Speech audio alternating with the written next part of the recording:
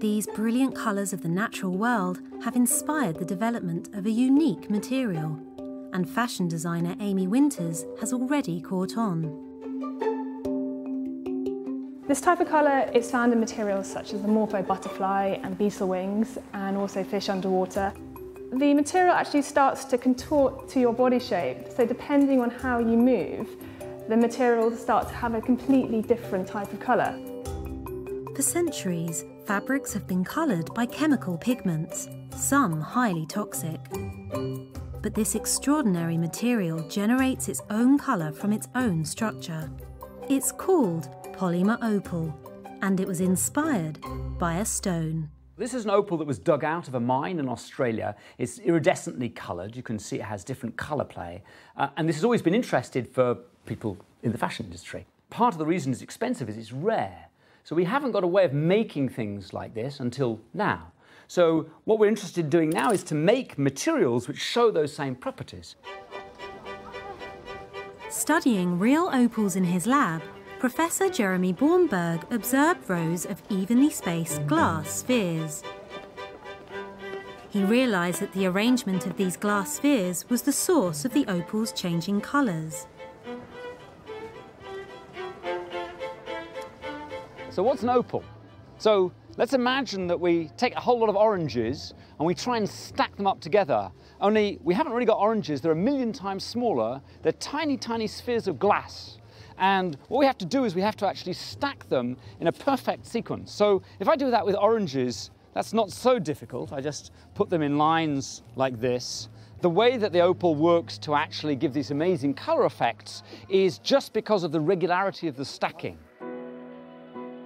So each of these spheres is about half the wavelength of a particular color of light. And if it's transparent, the light bounces through and then bounces off the backside. But it also bounces off the top side as well. So we have all of these waves of light which are adding up with each other.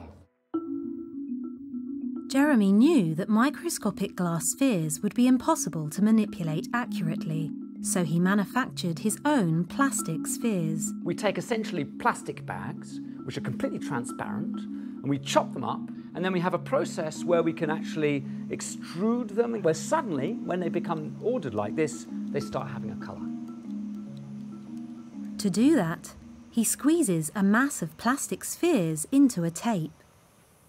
So this is the tape we've just produced from the extruder, and now it's just a mass of nanoparticles, not in any particular arrangement. So the first thing we have to do from this is to make a film.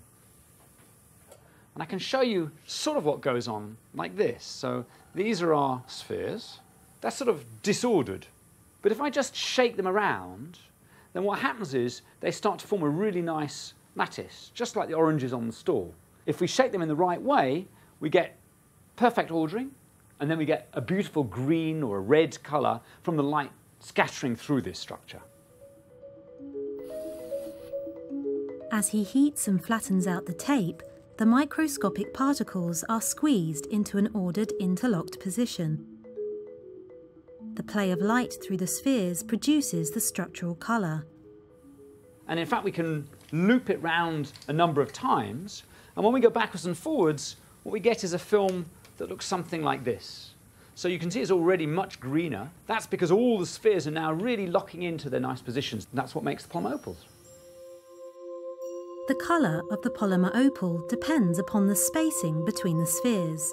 If you stretch them, they change colour because the spacing between the spheres changes. So this is something the fashion industry has never had.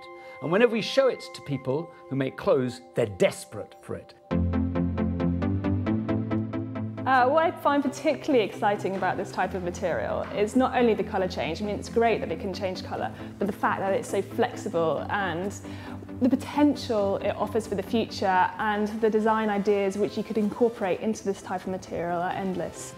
It's closer to who we are as human beings and it starts to stretch a bit like our skin. You can start to have clothing in unusual shapes and each bend and twist of the material will create a different effect. The imagination is your limit.